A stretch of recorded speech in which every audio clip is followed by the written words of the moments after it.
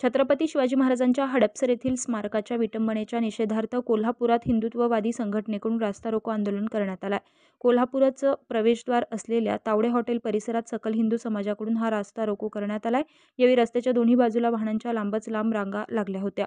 छत्रपती शिवाजी महाराजांच्या स्मारकाची विटंबना करणाऱ्यांवर जन्मठेपेची कारवाई करा अशी मागणी यावेळी करण्यात आली आहे. दरम्यान आक्रमक झालेल्या हिंदुत्ववादी कार्यकर्त्यांनी पुणे बेंगलोर राष्ट्रीय महामार्ग रोखण्याचा प्रयत्न केला आहे पुणे येथील हडपसर या ठिकाणी छत्रपती शिवाजी महाराजांच्या पुतळ्यावरती जी दगडफेक केली आणि त्याला शासनानंतर सांगितलं की माते आहे तो म्हणून. अशा फिर अशा पद्धतीच्या अनेक घटना घडतात आणि त्याला नंतर माते फिरू म्हणतात. आम्ही आज त्यांना जाहीर आवाहन करतो की तुमचा तुम्ही इतिहास तपासा आणि आमचा इतिहास तपासा. आता हिंदू मारणार मार खाणारा नाही तर मारणार आहे.